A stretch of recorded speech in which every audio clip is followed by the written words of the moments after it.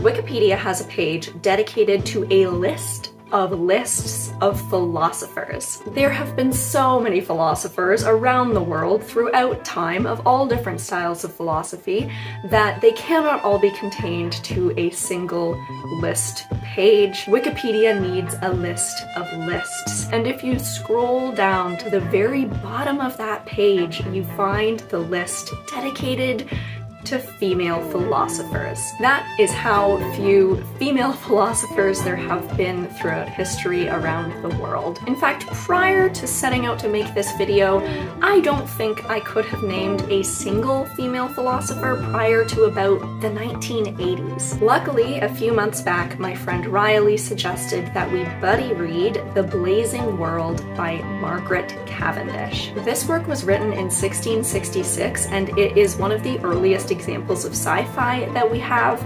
It was published alongside a philosophical work by Cavendish. So, thanks to Riley and this book, I can now name a female philosopher. And after this video, you will be able to as well. I actually first met Riley because they commented on one of my YouTube videos and we started working together on our PhDs, so I am very lucky to have Riley as a friend and I cannot wait for you to meet them as well. In this video, I sit down with Riley and we discuss Cavendish, her life, her philosophy, as well as her work, The Blazing World. I hope you enjoy. Hi, Riley.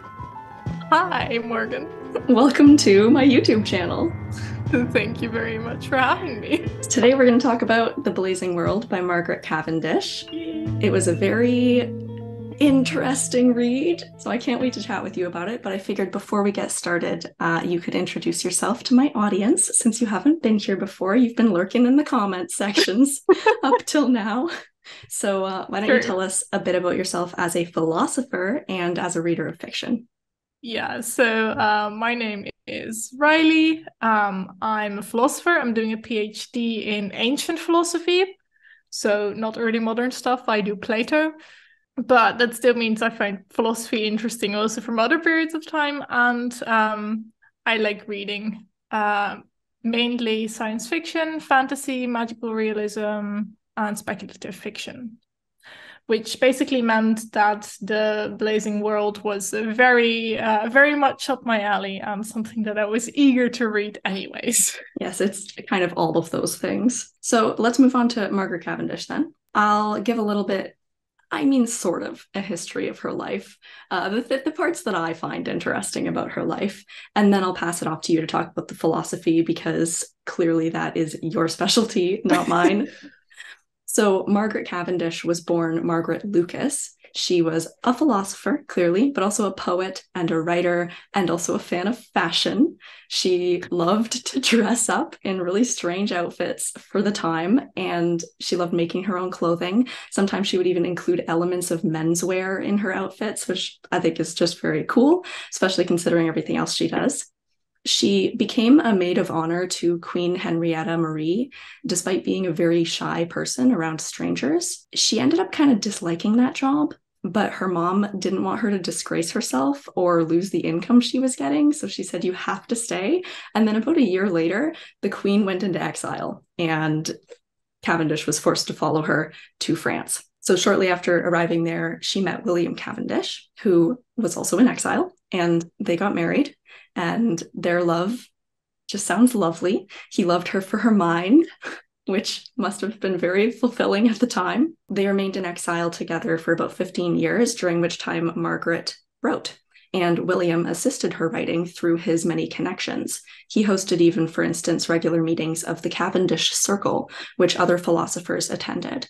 And he helped her get her books published, which was a, a big thing at the time. Like that was an uncommon activity for women w- to publish books, particularly under their own name.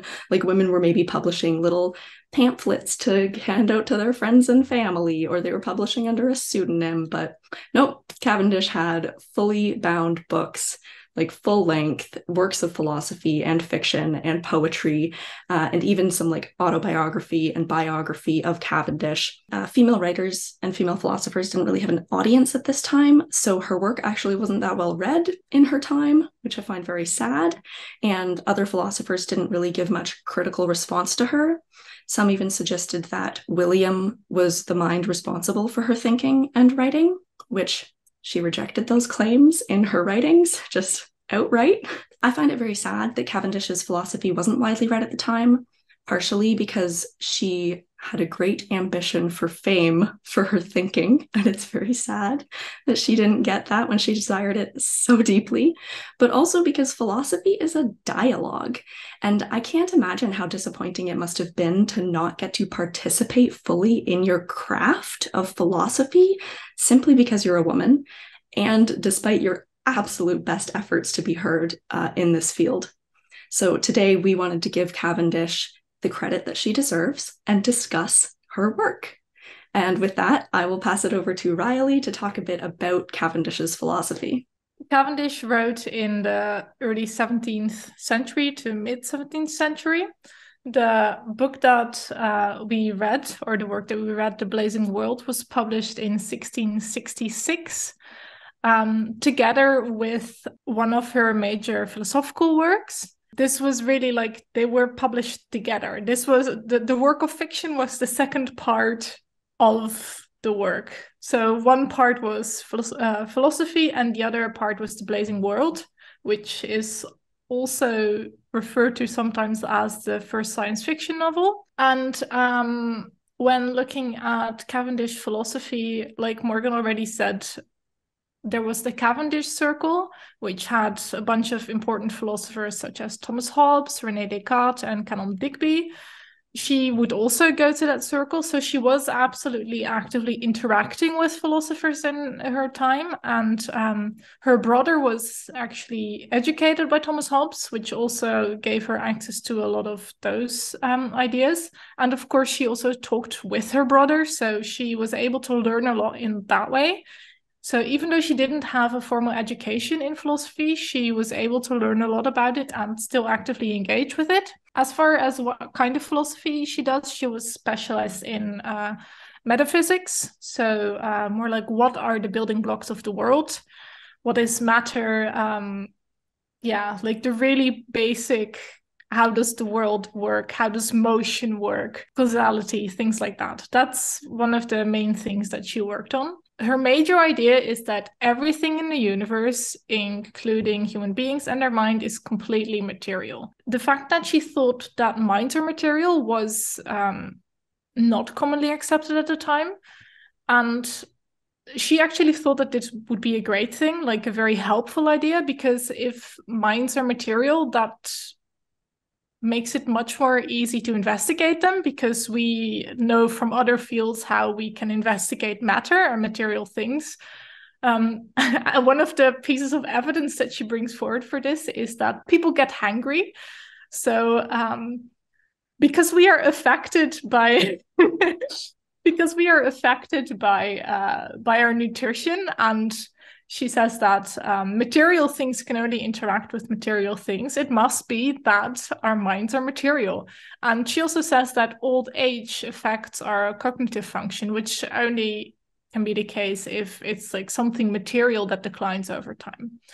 Uh, one of the reasons she thinks this would be great is that it would mean that mental health uh, can be much more easily researched and worked on yeah, this idea that embracing the body is very important would also break with tradition because um, it was often, especially in more religious circles, said that the mind or the soul is the most important part and that we are bound to our body, which has kind of these negative desires and things like that. But Cavendish said that it was really important for us to embrace our body uh, because it is also a material thing and it is only in kind of the interaction between these two that we can really like understand the entire being. Another thing that's very interesting about her philosophy is her idea of causality, which probably sounds wild to most people nowadays. Specifically, her idea of motion. She says that if I run one thing into another thing, you would think that it's the motion of the first object that causes the second object to move. What she says is no, no, no, because all bodies ha- are like intelligent in her idea. So what bodies actually do is communicate with each other, and this is how they communicate their behavior. So the first body prompts the second body, and then the second body is like, "Yes, I do want to move," and then moves. This is obviously a bit simplified. I am not um, an early modern philosophy scholar, but this is broadly speaking what her idea is. Um, and then finally, she had an idea about um, like the divine, because people would obviously ask her whether God existed or other divine things. And she says that, yeah, it is possible that they exist, but if um, either God is material and we can interact with him, but if God is not material, then we can't interact with him or actually know of his presence of anything like that. So she doesn't outright deny that there is such an idea of a Christian God, but if this is Christian God is immaterial, then there is no way for us to interact with him in any way. Yeah, so she has a really interesting uh, philosophy with a bunch of very interesting ideas. And it was also nice to see that a bunch of these ideas actually make their way into her fiction. I agree. It's it's amazing. I really can't wait to dig into like talking about the book itself because so so many of these ideas that I didn't know she had at the beginning of the book, I discovered through reading the work of fiction, like what her actual philosophical stances were. So this is not like strictly a fiction. Um, it's also a work of philosophy in itself. And then learning more about her philosophy, I understood the book better. So they really mm-hmm. feed into each other, which is so cool. Why don't we start talking about the book just by giving like a basic summary of what happens, if that is possible? Yes. What what the hell happened? yeah. It starts very strong with um, a merchant stealing away this lady and um, trying to kidnap her on a boat.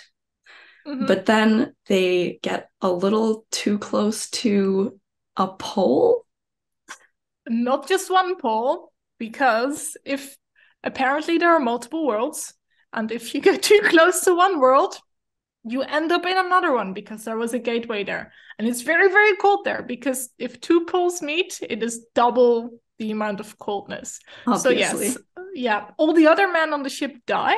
Yeah. And um they got too cold because also it, they were cold hearted. They're trying yes. to kidnap a woman. They deserved to die by the cold. But her, yeah. she survived by the light of her beauty and the heat of her youth. So she ended up in another world, aka yes. the blazing world. And in this blazing world, she meets all sorts of new types of beings. They tend to be named after animals, which I actually found super interesting considering her idea that all matter is like conscious and intelligent.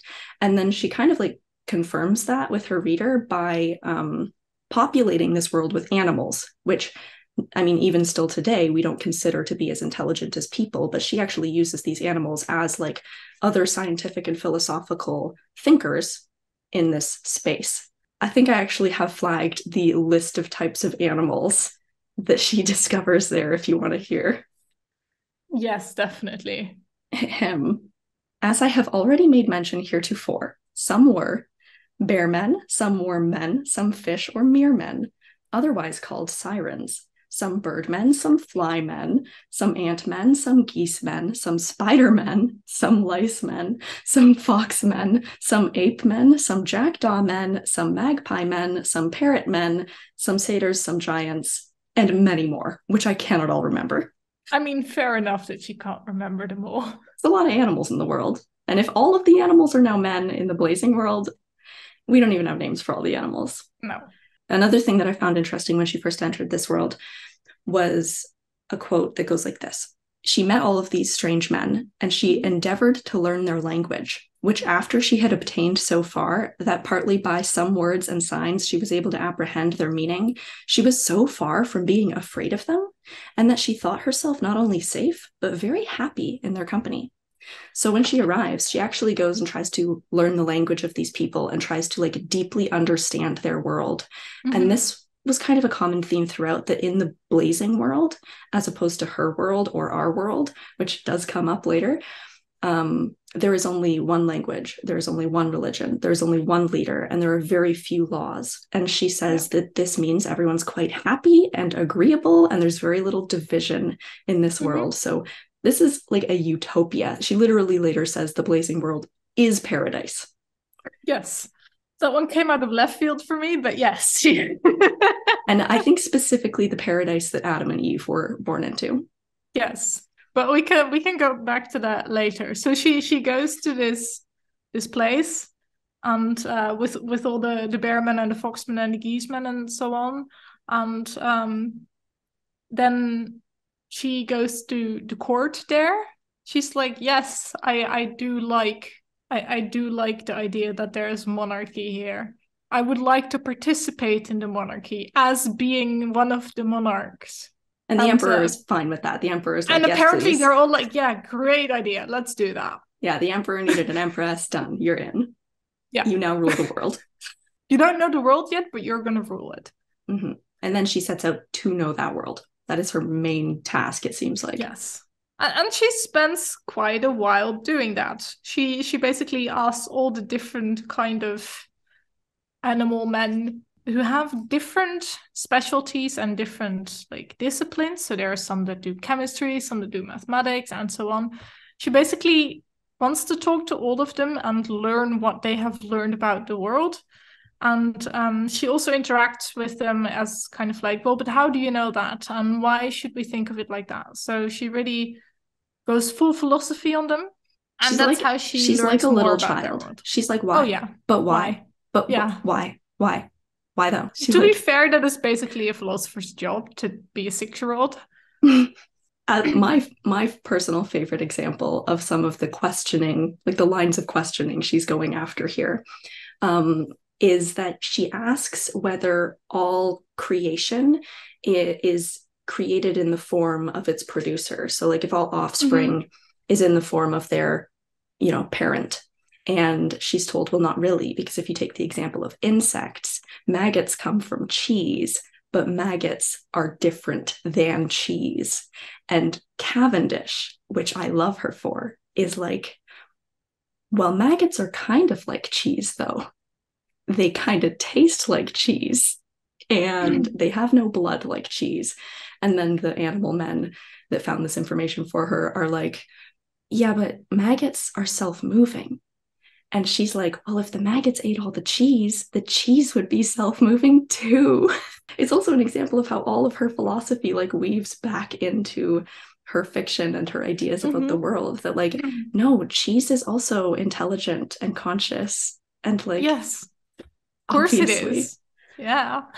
She she also is kind of questioning science and philosophy of the time through these lines of questioning because she says things like, well, you know, microscopes are limited. This is a time when um, scientific tools are kind of emerging. And she says, yeah. well, these scientific tools are very limited in scope. Like we can't know the world through these tools alone because, for mm-hmm. instance, mm-hmm I can only look at the surface of an object with a microscope. I can't see what's inside it. Yeah, I mean, definitely in this time, there is a lot of more experimental philosophy happening. So people doing actual experiments to find out how things work.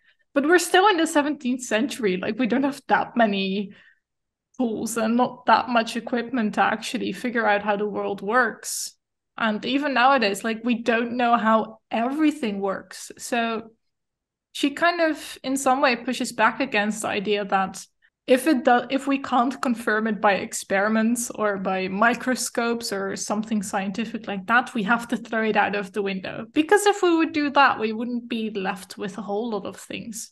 So um, also her philosophy is kind of trying to explain the whole world and all its different aspects. And the ideas are supposed to cover all of everything basically. So they're really more more fundamental than the things that we can look at with microscopes and things yeah she says that nature is but one infinite self-moving body. Yes. she's looking at the big picture here.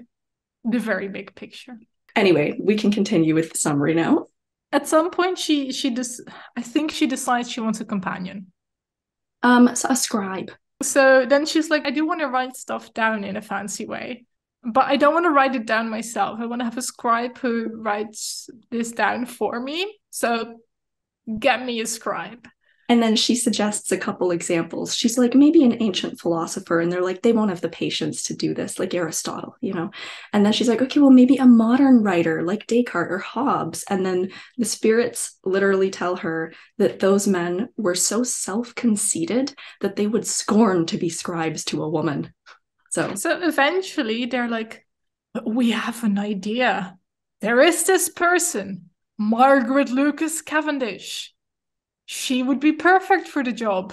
She lives in another world, though. So this is a third world. We're now up to three worlds.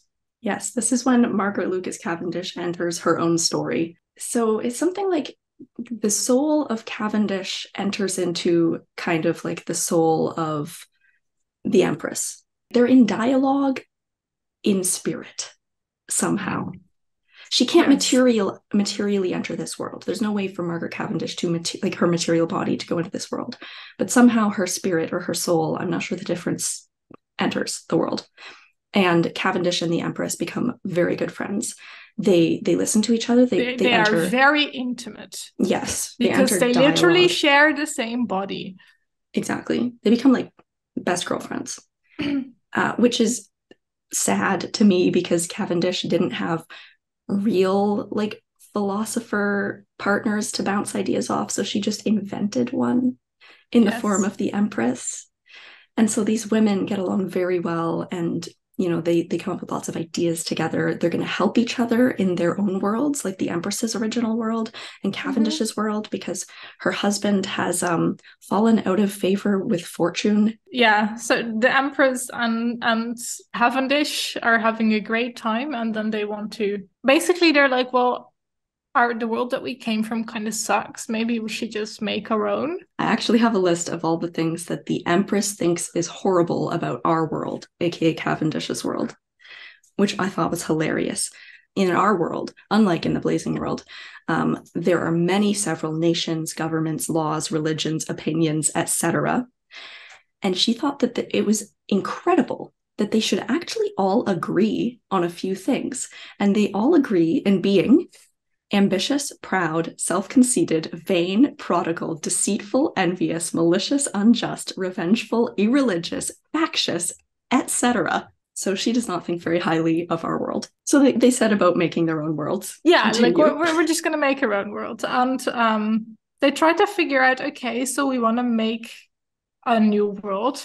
Whose philosophical ideas should we follow? So they're going to start at the beginning of philosophy with the first philosopher, Thales. She says, and at first she resolved to frame it according to the opinion of Thales, but she found herself so much troubled with demons that they would not suffer her to make her own will, but forced her to obey their orders and commands, which she, being unwilling to do, left off making a world that way. And then she continues to the next philosopher, Pythagoras, which doesn't work out. Then Plato, which doesn't work out. So she moves on to Epicurus, also does not work out. She tries Aristotle, which is also a fail. Descartes, who she actually knew in person, but apparently his ideas also don't work. And then finally, Hobbes also does not work out. So Hobbes is one of the people that she learned from. So we're talking about contemporary to her. So she has literally gone through the entire history of philosophy. All of their ideas are crap. You can't make a world like that. Then they do it according to, um, to Cavendish's philosophy. It works. They make they make a world. Yeah, it's it's very funny how severe she is in her criticisms of other philosophers and even still living philosophers that could very well read her work. She does not hold back. She never apologizes for anything that she does, for her ambition, no.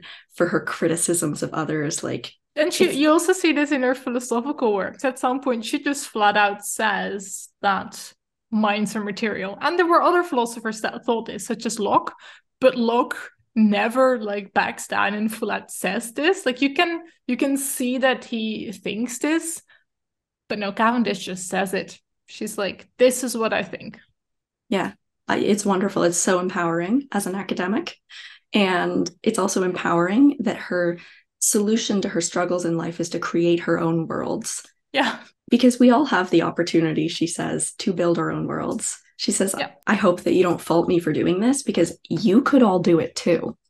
Like, all of us have the opportunity to invent our own worlds of fancy that we could live in and be the kings of. But that's the that's the world that you can come up with. There are of course also the three worlds that still exist. She she is like, okay, but can we also try to fix at least one of them? Well, I mean the blazing world is already pretty good, but can we fix one of the other ones? So, the way that she goes to like save the world that she came from, the Empress, she goes underwater. First of all, she gets her, you know, fishmen to They make a submarine. Yeah. Yeah.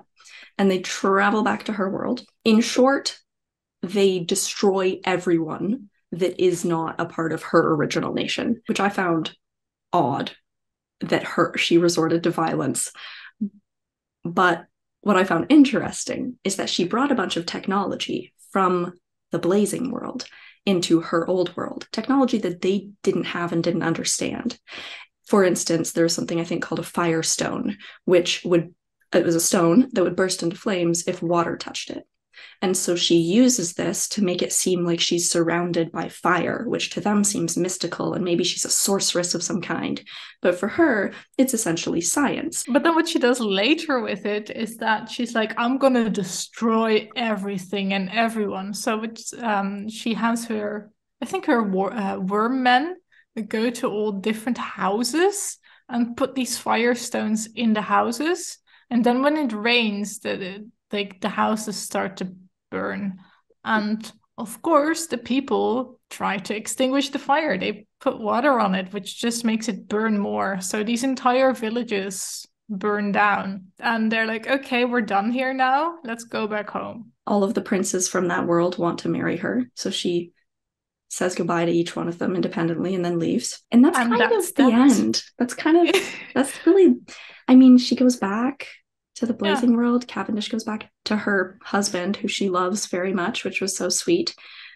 Because even in the fiction, Cavendish just loves her husband to pieces and wants to be with him. She promises to write some plays for the blazing world because even though people in her world like the wrong kind of plays and won't publish her plays, the people in the blazing world will like her plays because they're good plays. There's something really sad about the fact that she basically wrote a fairy tale in which she is validated. She re- literally just created an entire world so people would actually have this kind of dialogue with her in this fantasy world.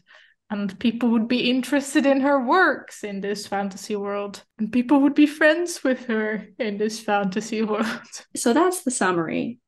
Maybe now we could talk a bit about like the writing style. I was quite thrown off at first. Uh, it yeah. was very different from anything I had encountered. Um, a lot of the pages have no paragraph breaks at all, and some of the pages have no sentence breaks at all. So it's just one long running sentence. Fun fact, I didn't notice the sentence breaks not existing. I have read too much too much obscure philosophy apparently. This is also said in the introduction that Cavendish is rebellious in every way. Like she doesn't follow style either. She just does her own thing. And it, it seems like she kind of thinks that the rules of language or logic uh, will just slow her down in a way. She should rely on her own natural ability to communicate these things, which, I mean, feeds into the fact that she used fiction to talk about her philosophy and poetry. There's also something about an idea of not belonging with the other people, it feels like. Like she doesn't want to follow the rules that everyone else does their things by because they don't I mean, in some way, they don't accept her writing anyway. So why should she try to write it following these strict rules? But she probably also, I don't know to which degree she knew all the formal rules, because of course she didn't have the education that other people had. But it's pretty clear that, at least to a degree, these are conscious choices, that she's just doing her own thing. There is one quote on page 184. Um, the Empress asks what Cavendish, so the Duchess, wants. And this is the response. Well, said the Duchess, setting aside this dispute, my abi- ambition is that I would fain be as you are, that is, an empress of a world, and I shall never be at quiet until I be one. That's the Duchess speaking. That is Cavendish. This is Cavendish. Yeah, Cavendish says, I want to rule the world.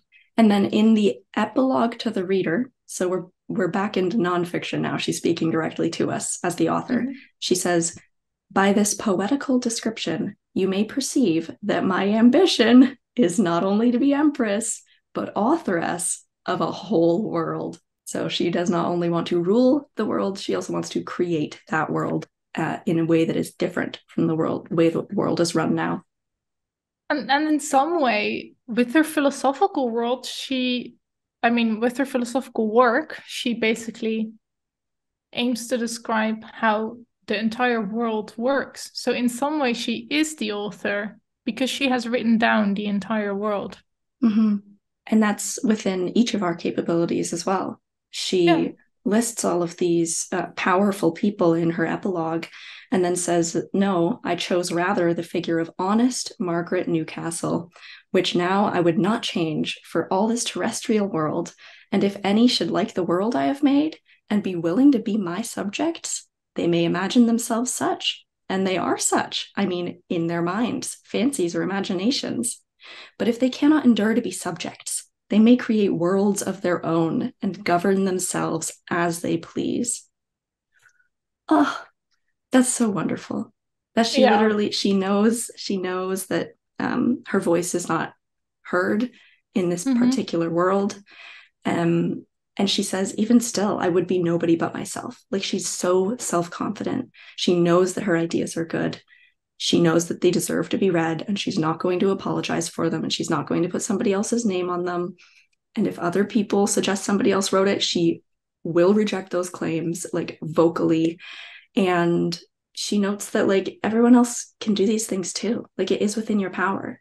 Like there's no reason yep. for you to sit in silence and sadness uh, and just like mope about your situation. Just get it. Just just go out and get it. You want to be a writer? Be a writer. It's possible. Mm-hmm. But the interesting thing is also that women in her time were not a fan of her either. Because she she doesn't do the woman thing correctly either. She also says that she doesn't want to do the typical romance thing in her fiction and she doesn't want to dress like the women and she just wants to be a woman in her own way. Yeah, totally. Well, thanks so much for coming onto my channel to chat with me about this book. And thanks for recommending this book. Like, I did not know about Margaret Cavendish before you suggested this text to read together. And I'm really glad you did because she is so super cool. And now I'm going to bring her up in every conversation I have. yeah, it's, I mean, even in philosophy, she's not a super popular figure because she's not really a central part of this conversation. So even though she anticipates a lot of very important philosophical views, she's not a big part of the canon, so she's often skipped, even though she has so many interesting ideas. And yeah, it's yeah. it's nice to pay a little bit of attention to someone like Cavendish. Thank you again, Riley, for recording that video with me. It was an absolute blast to record. I love to take a deeper look into the fiction that I am reading. If any of you watching have other book recommendations for us, please feel free to put them in the comments section below. I have a running list in my Obsidian of all of the recommendations my subscribers have given me over time, so I'm sure that I'll get to them eventually. Thank you for watching, and until next time, happy reading!